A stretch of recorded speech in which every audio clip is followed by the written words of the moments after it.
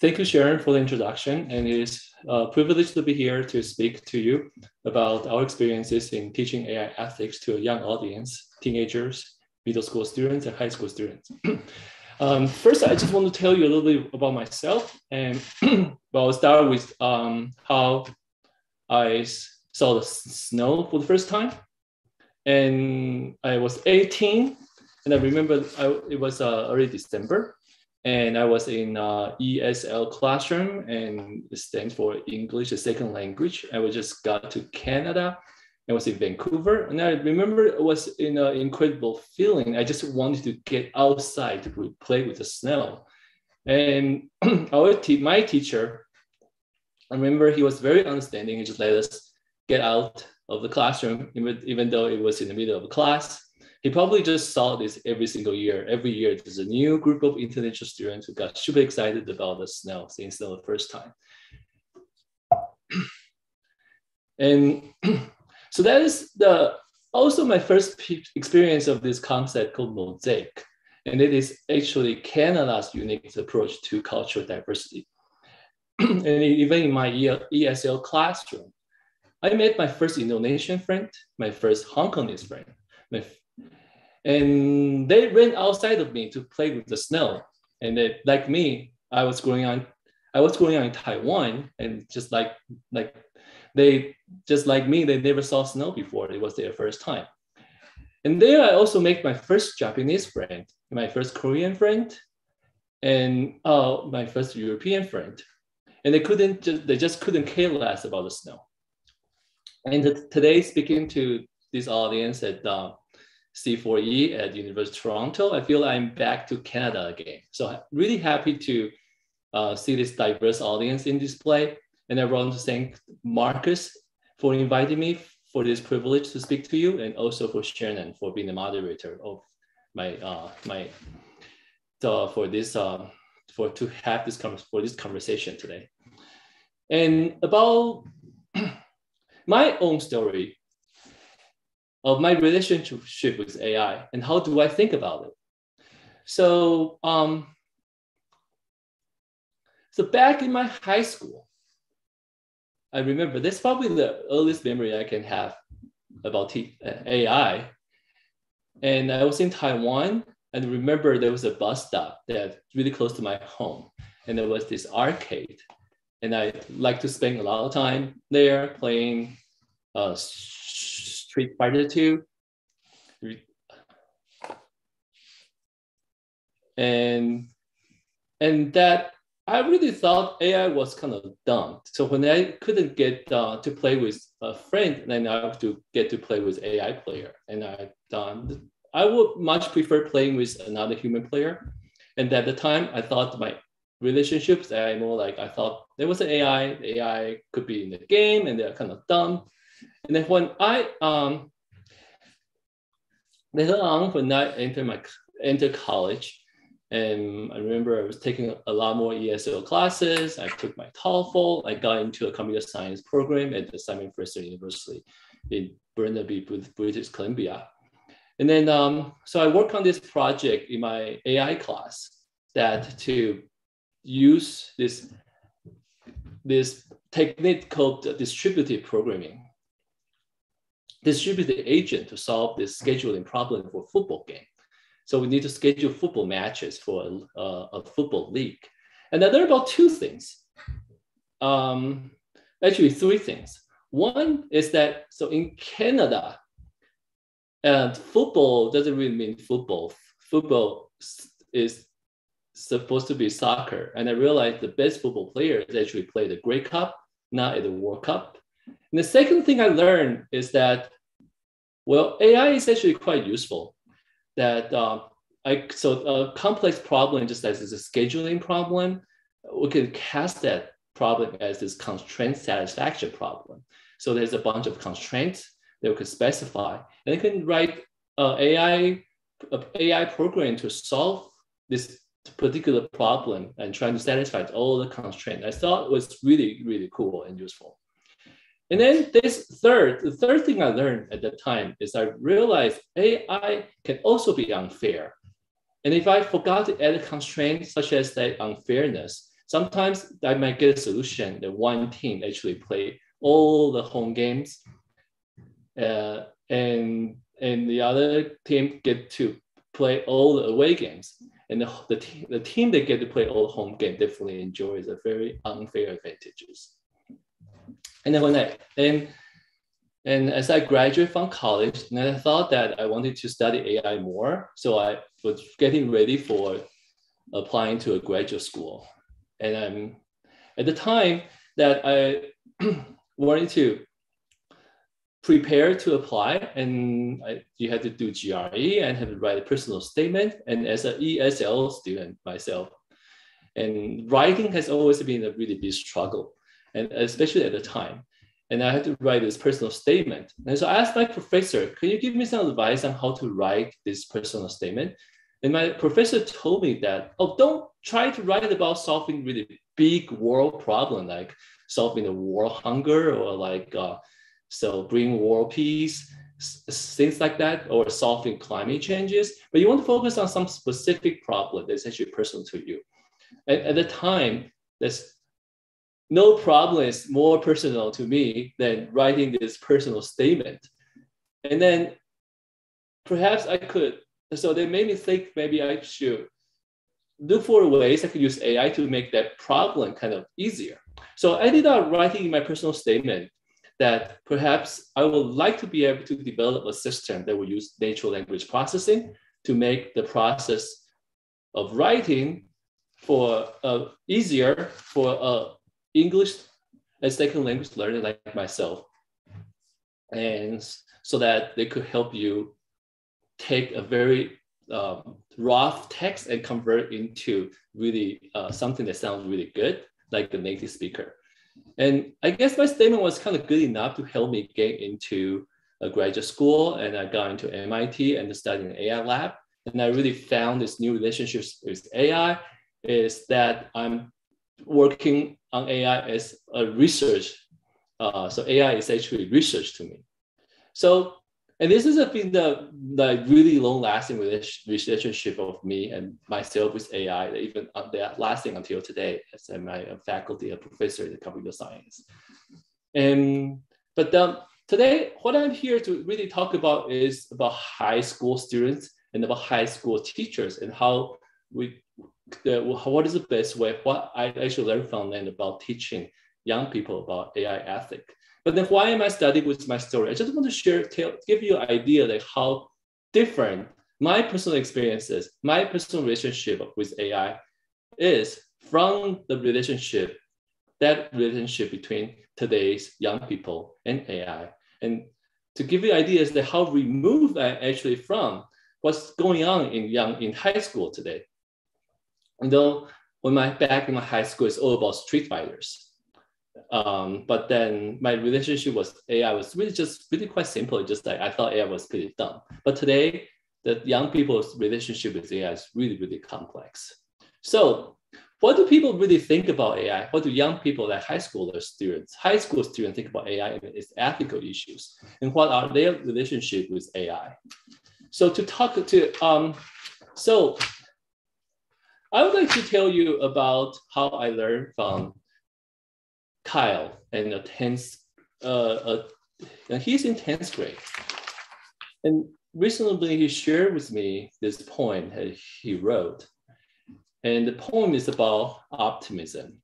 So I just want to read that poem to you and also a speech that he gave uh, about that, that uh, after that he wrote this poem.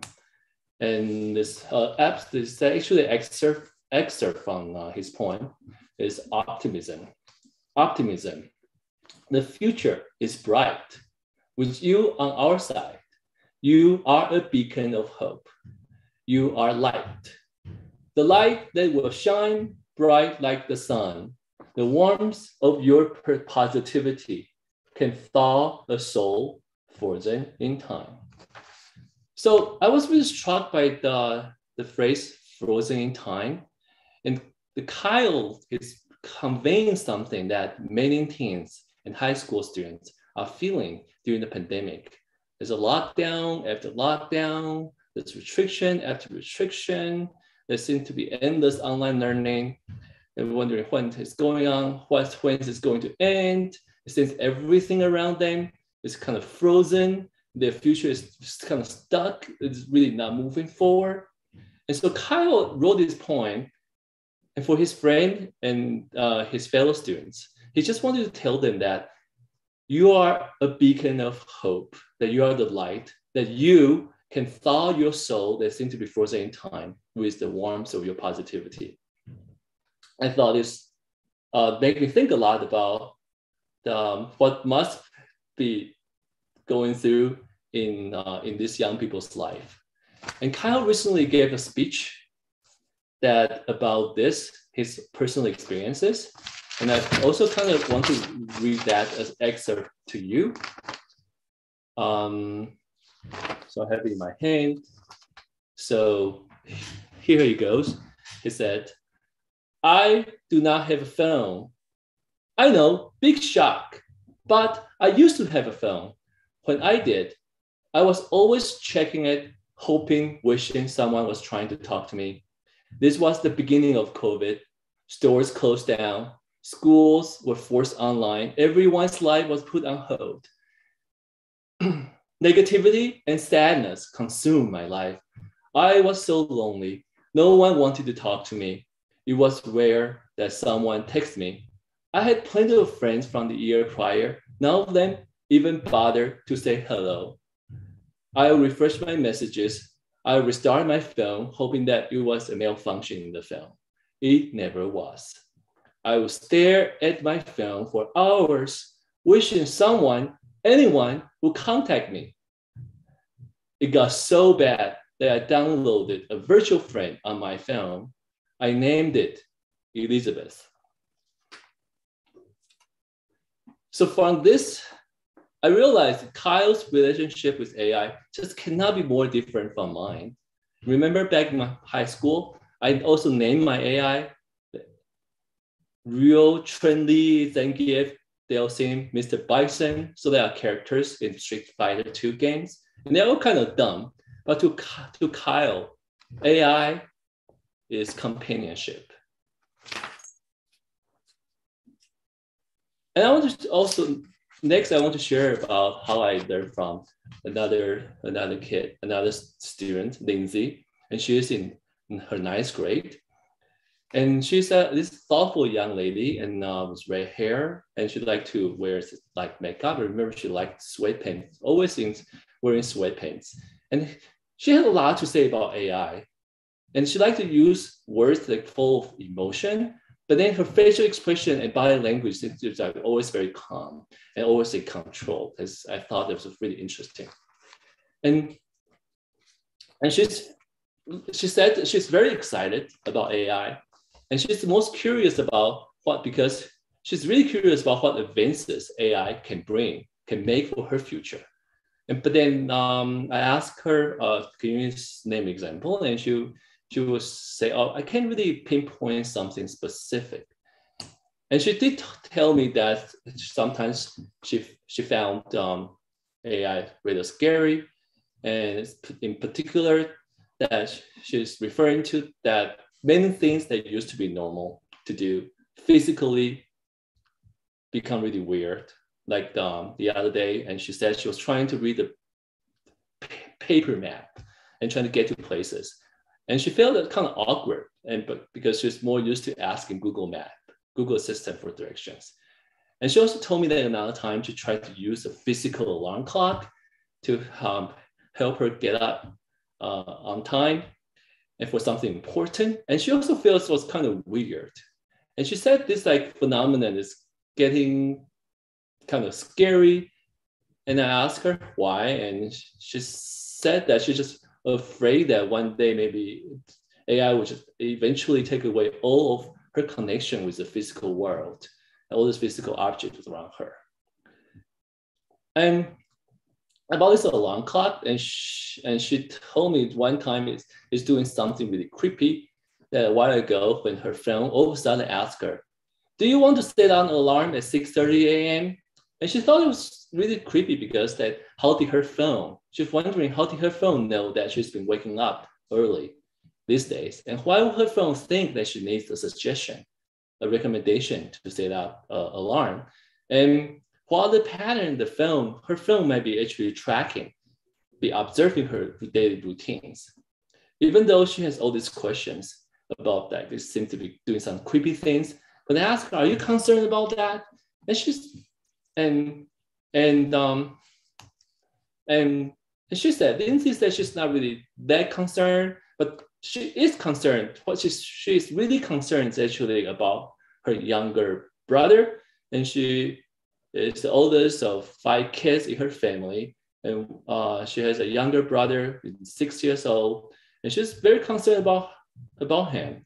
And he's he has autism and he like to play Minecraft. He like YouTube video. He could watch YouTube video for hours. And Lindsay is really concerned because sometimes a lot, you actually a lot of times she found that YouTube making really weird recommendations and really weird videos, really not appropriate for his brother.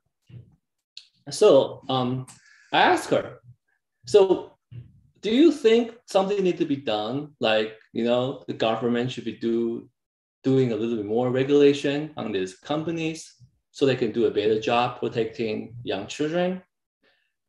And this is said, no, I don't think government need to do much. I think it is my responsibility to protect my brother. Honestly, I was actually quite surprised by that response because um, when I was in the university classroom, I like I, when I talked about topic like this, and then I usually would expect that it would lead to a really heated discussion among students about, oh well, people are so riled up, they really think the government not doing enough, not enough regulation to rein uh, to rein in big companies like Facebook and Twitter. We can have a really long discussion what kind of uh, gov- government regulation might be needed and how the US government is lagging behind. Like in European countries, they have GDPR, and the US with part with part time passing regulation like that. A lot of discussion that you would expect in what I realized to be a liberal bubble in the university environment. So by talking to Lindsay, I realized there's a different voice that she said she doesn't think government should regulate everything. The government meddling is really not a solution. And her opinion probably is more in line with the US is so-called this conservative ideology.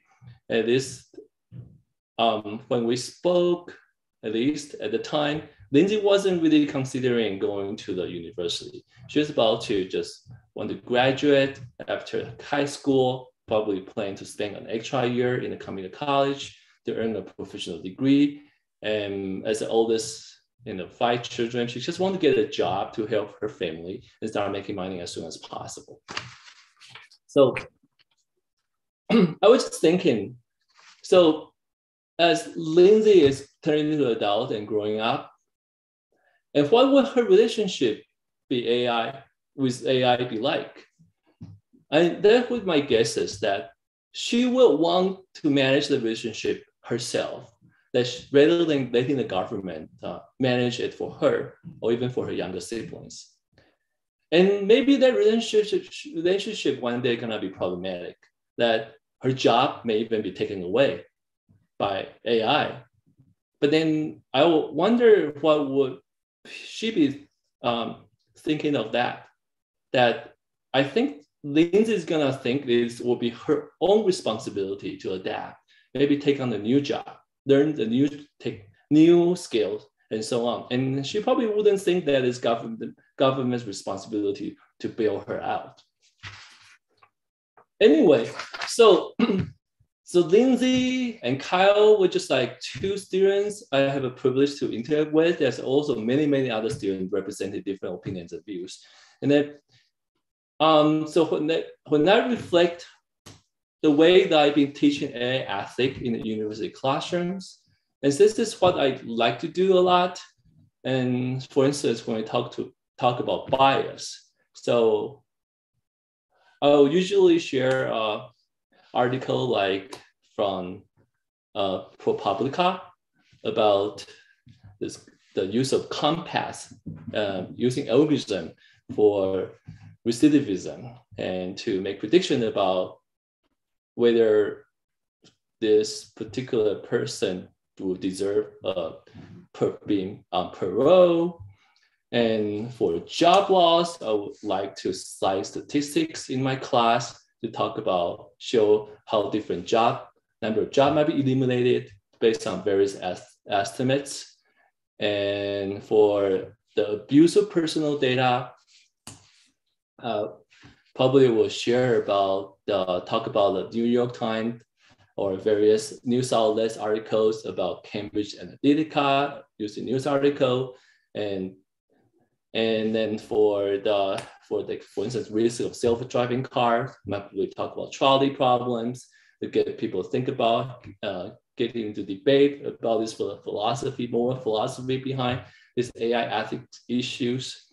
But then I realized that all this how well would this work for young people like Kyle and Lindsay, for case studies like COMPAS.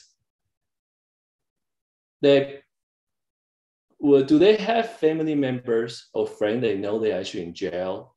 And can they relate to that? For jobs, they probably don't even have lots of job experiences. Maybe they work in the McDonald's or when they're younger, they work in Lemonade. Can we, they really relate to those statistics in 2030? And about Cambridge Analytica, they don't even use Facebook. Can they relate to that, those examples? With trolley, probably they seem to be kind of violent. And then also for them, if violence is the thing, they could they play video game like Fortnite, they're even a lot more violence.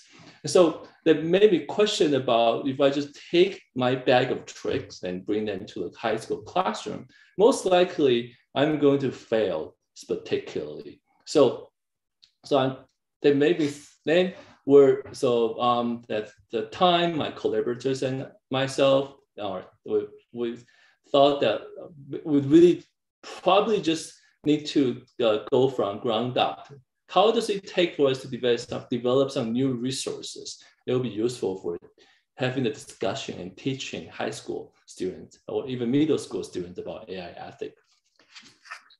So we decided to try what, what, what if we can write new stories, a new short stories that we could use those stories to to uh, us for to discuss this AI ethic issue in a way that is more approachable and relatable to teens. And that's when I started to work with Ellie. And Ellie, who's Ellie? Ellie is actually at the time was a PhD student in our university, and she's not a computer science student in my department. Rather, she's actually a student of my collaborator down at the uh, School of Education. And Ellie is a former school teacher, and she taught English literature, uh, English English language art (ELA). Then she reminds me a lot about my e, ESL teacher, by the way. And so Ellie, she before she wrote actually wrote many short stories for her student on the variety of topic in the past. And she always has really cheerful and positive attitude. She like to say things like, yeah, I totally agree. And it's very easy to work with her. And so we started our first writing project together. Want to see how does it take? So I have some knowledge about AI and ethics, but I'm not a writer. And Ellie is a fantastic writer, but she's a little bit not sure about whether she knows enough about AI to be to be able to write a good story. And so that is how we're trying to explore. Perhaps if we work together, we could come up with something really interesting. And so I learned a lot from Ellie in this process. And from the and so the first project we, we, we're working on um, is this story about uh, about about um, uh, the animal shelter. And so and in the process that I learned from Ellie that a lot of things that uh, there are many elements that are important in writing a successful short story. And the first is that we need a scenario. Um, so scenario has to be relatable for the for the teens, and then we'll we want to study by thinking about a scenario like the one that reported in uh, ProPublica about uh, recidivism and the use of AI in the process. So we just we were just brainstorming for ideas that how to draw parallel to that scenario in a way that they still could connect with the teams. We were thinking that so there's a scenario, the prisoners they're behind bars, they're hoping to be released earlier, perhaps. What would be a scenario kind of similar to that? Perhaps there will be then the one we came up with is how about animals or dogs in cages? They're hoping to be adopted, and there was some use of AI in that uh, adoption process. There might be cause some issues. So we decided on um, a scenario that based on the uh, uh, animal shelters. So let me read this uh, how the story started. So that that scenario. So Lucy pulled the blue folder out of the drawer filled with profiles of potential dogs for adoption. She looked across the desk at the couple and their two young children. So they kind of, we're trying to set out this scenario. So in the dog adoption facility. And then we need a strong character, and Lucy.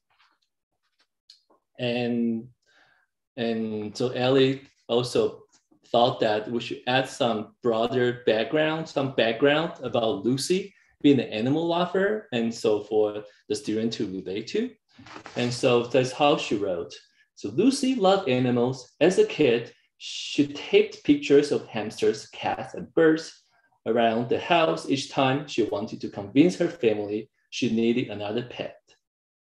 Her parents drew the line when they found a picture of tiny hedgehogs taped to their toothbrushes. I studied to, so this is like a passage to, um, of, to represent Lucy as the animal lover that hopefully uh, our the reader can actually relate to. Another thing that uh, Ellie thinks that's important is introducing conflicts in the story. And so, so first is that there's a there's this um, tension about what kind of facility it is.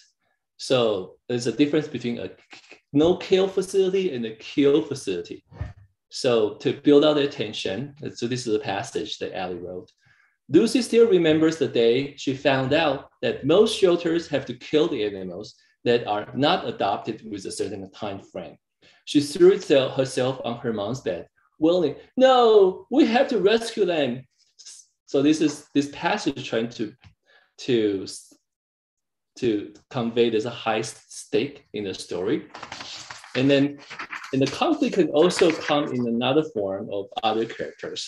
So in this case, so Ellie introduced Rebecca and Mario, two adult owners of the show, co-owner for the of the shelter into the story. And so last year, the owners of shelter, Rebecca and Mario Thompson, came into the office with a new laptop for Lucy. Ta-da! This is it. This computer program is the official It Will Blow Your Mind game changer for pet adoption across the land. Wow. The team that built the program used machine learning and artificial intelligence to devise a model that can predict the best fit between an animal and the family. They build a model by taking data from hundreds of pet owners and their reported satisfaction with their pets. So and then the conflict, the climax is the when um, when Lucy realized there was actually a conflict. There's actually a bias in the process, and this then Lucy was telling her friend, "Here's the thing," Lucy said. "I just had this feeling some breeds are getting matched over and over again, and some breeds are never getting chosen. I'm telling you, it's weird." And I've noticed pets with disabilities never, never get matched and feel like I have given away more blonde golden retriever. than there are blonde golden retrievers on the planet, or at least a billion of them. So that is the way that we thought in the story in trying to set up the various conflicts in characters. And the resolution is when Ellie introduced a new character, another character, who is Diego, um, Lucy's best friend, who happened to be a very competent hacker in a computing club. So Diego responded, I guess the sample isn't large enough or diverse enough. It's just one example. I can see that the training data was primarily taken from suburban neighborhoods where larger houses and larger dogs are more common. So that is probably skewing the recommendation for other families. and Lucy lifted a spoon. Okay, here's my plan. Let's eat the rest of the ice cream carton and then write up a case for ditching perfect matches that we can present to Mario Rebecca. So, and after we finish the story and Alex uh, keep pushing and we have to also make it teachable, which is not, we have, and because the ultimate purpose of writing a story like this to be able to use in a classroom and to, to be able to engage uh, high school and middle school students in the discussion about AI ethics. And so in order to make it teachable, we have to fit everything into two pages. And then uh, Alex said that we also add some discussion questions, also make sure that there are some alignment with the English uh, language art standards. And, and has to be using the words that at the right reading level uh, for students that we're trying to target. So it's um, from the education point of view, there's even more work after that the story is written. So perhaps the hardest part is trying to find a balance of how much we need to explain the AI inside story because we cannot, we don't have a luxury of space to, to have really large blocks of text to explain what model means, what training data means. And they have to kind of organically come out from the narrative or the what people, what various characters say in the story. So it took a, a, a lot of going back and forth in order to figure out how to write the story well. But with this story written, we feel pretty good about it. so, so we got um, someone to help with illustrating for this story.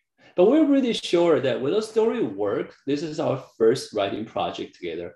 And can students, can, for instance, can students really handle four characters in a story? There's Diego, there's Lucy, there's Mario, there's Rebecca. And can they relate to Lucy? We create this fictional character so that that is about the same age as our target audience. And can they relate to Diego? That he's a slightly kind of on the nerdy side, but then can they relate to it? So we're just not quite sure. And I thought we, the only way we could find out is to actually test the story in a setting where there's a class of high school students. And so this is what I would like to tell you, to share what I learned from Matt. And Matt is actually a science teacher. And I've met him for the first time at this panel that was uh, part of the panelists I explained about AI. And it's actually run by law school um, in my university. And I remember Matt asked me a question. He was in from the audience. And he asked me, how can we explain all this, we, all these things we're talking about explainable AI to his students? He's just wondering. I honestly, I, he, uh, when he asked, I have like no idea how to talk about some of this stuff. And so after the panel discussion, uh, Matt came up to me, so I a bit more conversation. I learned that Matt was a seventh grade life science teacher, and he was teaching at this school called the Lotus School of Excellence, and they have primarily um, English, again, a lot of English as second language students in this class. And so again, remind me a lot about my own experience as a ELS student. And so a few months passed, and then that was the summer was coming up, and at, at the time we actually had the opportunity to host a group of pre-collegiate students who are just high school students in their junior year. and they come and they tend to be underrepresented and also like uh, in the computer science in engineering discipline in general. So they came for the summer for two weeks engineering experiences where they receive classes that are run by uh, mostly graduate students on various topics in, in, in, engineering. And so the, the organizer wanted to add an AI unit for the first time. So that he approached me whether that we could do it. And so, and then I realized there would be the great opportunity to test our stories. And so it's about two hours uh, for five days. And so I reached out to Matt and, and thought, and he then realized that he is actually could I, I could just go into class to teach myself, but again, I realized I'm so as I talked about in the uh, very early in the morning, I'm just too removed from being in a high school to know really what high school students are thinking. So I thought the best approach probably to find an active high school teacher to actually trying to teach them and trying to then try out our material and see how they work. And so Matt is actually very quite happy. In fact, in the US, most of the public school students, they don't make anything.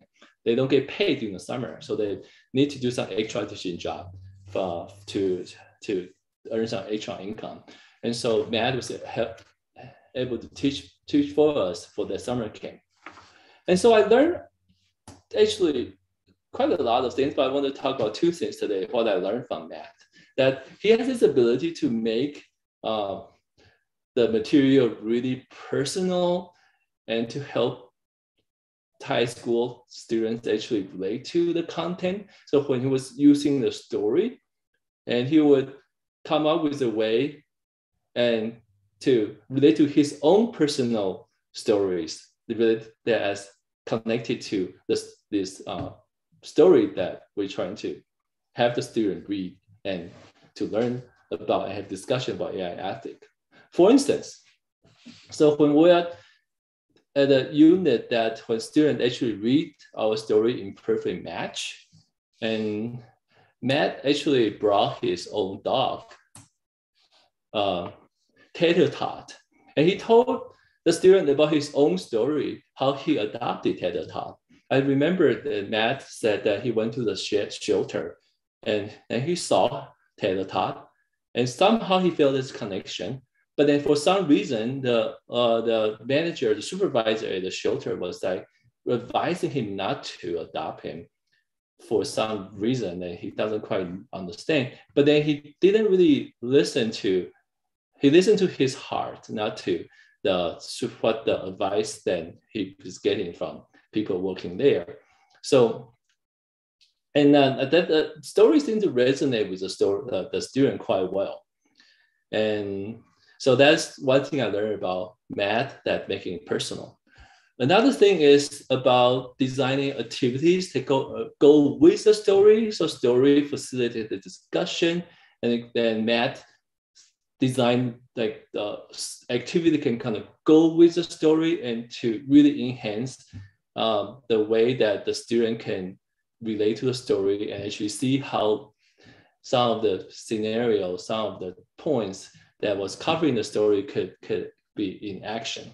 So for instance, so Matt came up with this idea to do this sorting activity that uh, the idea is that they have a student going up and to sort themselves across, uh, first across ethnic groups. So they go up to write down, first of all, it turns out every single student either has a dog or had a dog before. And it was not by design, it just, just happened. And so first round they went up and to write their breed, the breed of their dog under a particular ethnic group. So there's like African American, Latino, Asian, and Caucasian, and even other. And the second, second path, the students go up and to sort themselves around the family size, the size of two, three, four, five, six, seven, eight, etc. So, and then afterward, and so this is the result. And so Matt was leading this interesting discussion about how this is actually an example of a training data. So if you only code them in this way, that's what they will get. There's a high concentration of, all these dog breeds under the Tino, and only one dog breed on the Asian and one dog breed on the Caucasian. It gives you a little bit idea about the particular demo, the demographic of this particular group. And so Matt asked the student this question, does it mean that if someone owns a Pomeranian, that person is an Asian? If you someone owns a uh, Dachshund, Dachshund is a Caucasian. And student like, oh no. And then uh, along the dimension of family size after the result of sorting, and Matt was uh, bringing up this question about, does it mean that uh, AI, the trying to learn from this data, would think that whoever owns Husky must be from a big family of eight or above. And if you own a golden doodle, probably your family size is pretty small and probably live in an apartment and things like that. And so, and there's this uh, activity and there's a personal story and that are creating this scaffold together with a, a short story that, that, we, that we wrote that could open up this discussion. And story, and then we learned from her from story, some uh, heard from the students. The student told us that this story reminds me of social media track things and suggests um, since even though you might not like a thing, you even though you might only like the thing once, and also there's an emotional connection that Lucy is so upset because not every dog gets the same chance. So that's examples of a student reflection that at the end of the end of this uh, unit. So, so we're pretty encouraged by the result, and Matt was really encouraged, and he wanted to teach more. So he went back to his school and started to do a bit more in, on his own in the very in uh, in uh, with his own students. And so, so back in the lab, Ellie and I started to write more stories, and we also look for opportunity to, to really testing the actual classroom not just in the summer camp setting. So that's when um, I would like to share uh, uh, what I learned from uh, one of the teachers, Janelle, today. And, and she's actually a ninth grade English teacher and ELA, again, stands for English Language Art, English literacy, uh, literacy art. And at the, at the and Janelle um, was working in that school for more than almost 20 years. And he's actually uh, outside of teaching the in the classroom, and she also helped lead uh, this student club called Kika. is by Kiwanis International. And I think there's a really strong presence in Canada as well. And their students do community services in local communities, and they have a motto, serving the children of the world. And from Janelle, I really see the power of project-based learning that could build upon the kind of anchor on the short stories to open up discussion about AI ethic, but then provide a sort of like a destination or a scaffold and also with a destination that student at the end would deliver a project to demonstrate their understanding of the topic. And for instance, the two examples I want to show today are a video advertisement and also a comic that student created. And so, and for video uh, advertisement, that goes very well for the story as well. So I want to use uh, another story as an example. This is a story that the title is Your Own Song. This is about recommendation system.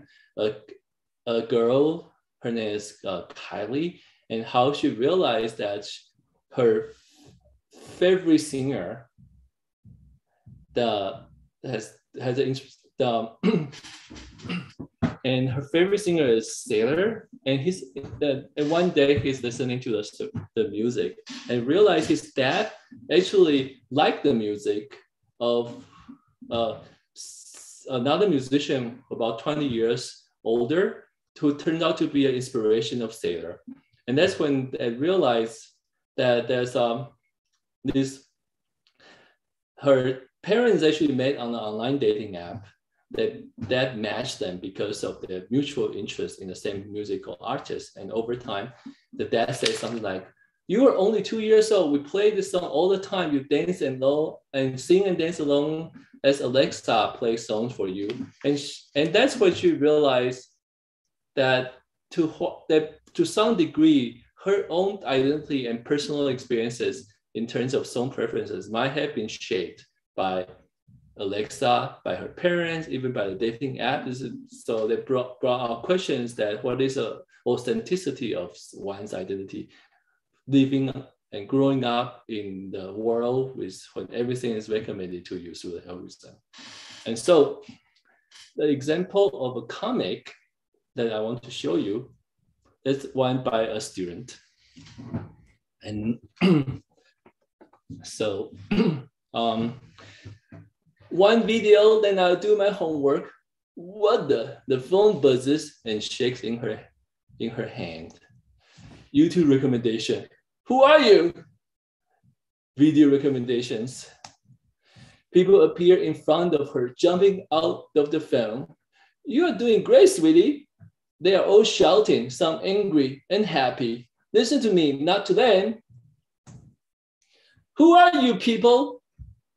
We are your recommendations. Duh. We can't. You belong to us now. Well, go away. I don't want you here. And they follow her around for the rest of the night. You can't. We are always with you. How do I get you guys to go away? You can't. We're always with you. She opened her phone, seeing the battery low. Fine. One of them disappeared, then another, until the phone slowly died. Finally, alone, but now my phone died. And another example of uh, this final project that student made after the, they read the story and have a discussion, it's um, the, related to another story, that car that we wrote that this time featuring three children, Margot, Gabe, and Zeke. And Gabe is actually blind. We're trying to try to balance that there's other societal benefits of self-driving car, but also there's uh, like uh, some ethical issues about what happened if accident happened. And so I really like the way that our story ended by the student, the, the kids sitting in the car realizing that the car is trying to protect themselves because they are children. And so in response to that, so this is the example of uh, students creating a video advertisement about self-driving car.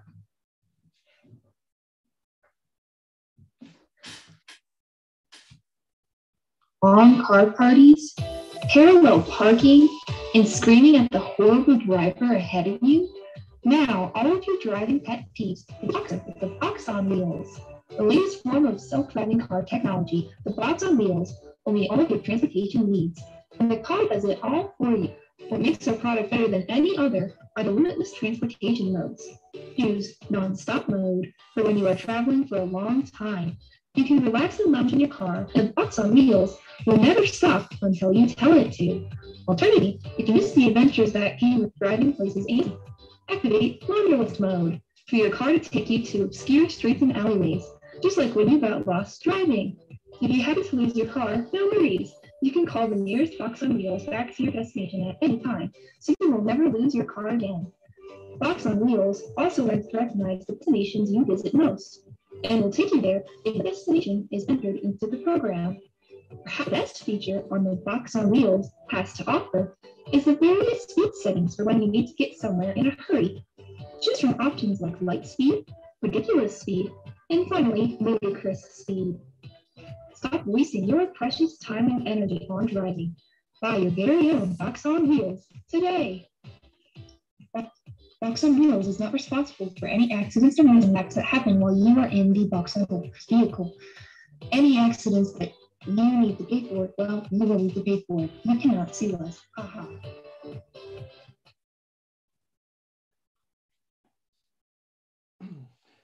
And I thought it was really interesting. There's lots of interesting videos like that.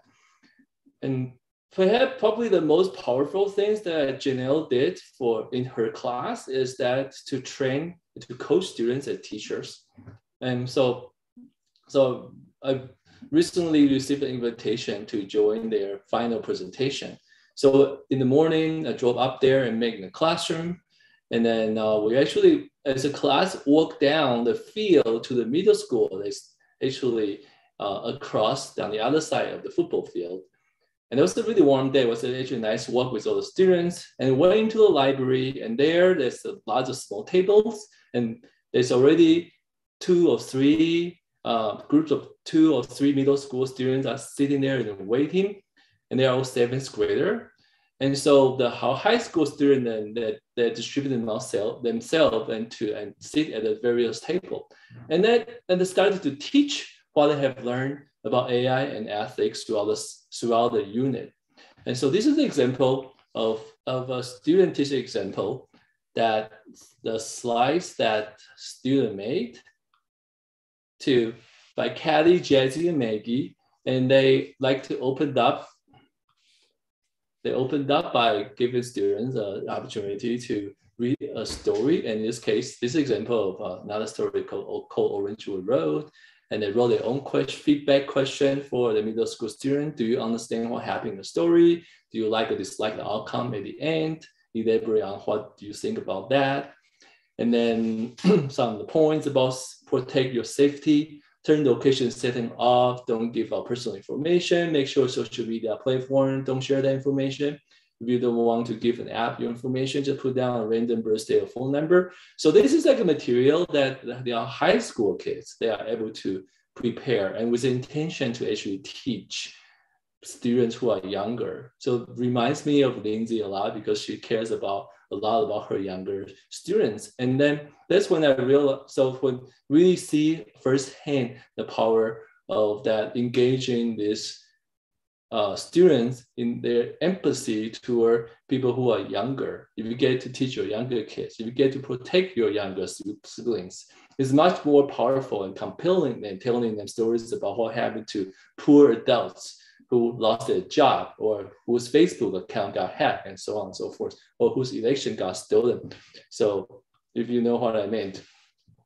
So anyway, um, uh, so I learned a ton from high school students and, and, and high school teachers over the past few years about uh, teaching AI ethics in their classrooms.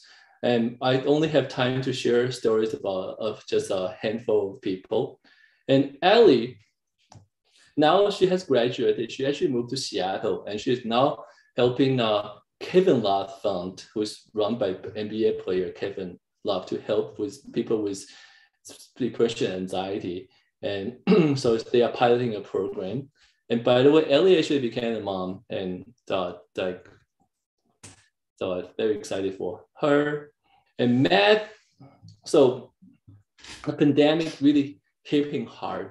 And he's a really social person, but then he's with no human contact. And he's been stuck at his, home. And he's, he was, then he told me that he had uh, some he realized he needed to check himself into clinic to get some help. I think it took a lot of courage to be able to do that. And even right after his re- recovery, if I um, so there's something that unfortunately that happened in our town that we actually had a really serious wildfire that burned down about a thousand homes, including the home that Matt is living in. But then somehow he still managed to stay really strong. And then he uh, he reached out to me recently to look for opportunity to work, and then so we're gonna have some uh, lunch to, tomorrow and to hopefully to talk about something that I could helping him out and maybe I really think he could he could be a really uh, great teacher to, to continue to to teach uh, students about it. And then about Lindsay, he actually told me recently that he is participating in the app design competition. So he wants to design a social app but it's only for close friends and it won't let strangers join or talk to you and it won't spread negative messages and only spread positive ones and also won't push unreasonable beauty standards and it won't show a lot of won't that the, the, the app doesn't not gonna do. It won't show a lot of ads. But then he was he said he would use AI to help with like things like filtering messages and stuff.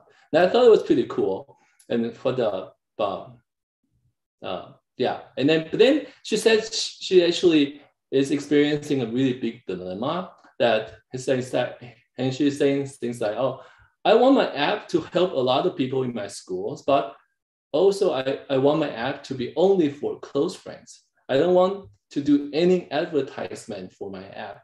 So I guess it probably won't end up helping a lot of people after all. So in my head, I'm not wearing the hat of a professor, I was like, wow, this is actually a classic example of this contrast or this contention between utilitarian ethic that is like you want to help as many people as possible, you know, and uh, deontology ethic that you want to help people in the right way with the respect of life. And I think that Lindsay is like exactly thinking about this to this dilemma then. And but in my heart, really in my heart, I'm not just professor, but actually as a father with two young boys, I feel there's a warmth, I feel there's an optimism in these young people that really just like the poem that was written by Kyle that I read to you earlier in uh, my presentation. And so anyway, I would just like to end my talk by uh, reading another passage from the speech that Kyle shared with me, if I can find it in my pile of stuff. So, um, so um, that app was the reason I it through quarantine.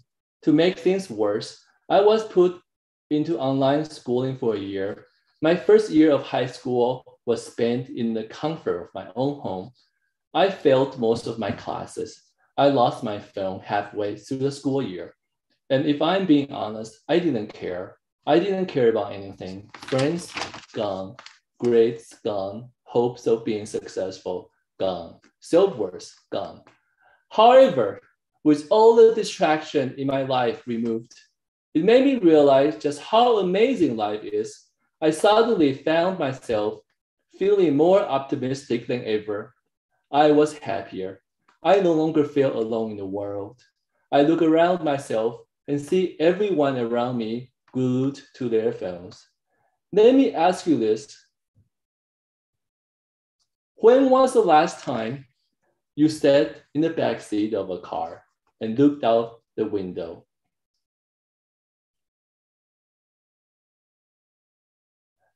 The world, the outside world is beautiful if you do past the hate the screen brings, all the negativity on social media. And best way to do that, optimism is the key. Optimism will open the curtains and bring us to tomorrow. And this is my talk. And I thank you for your attention.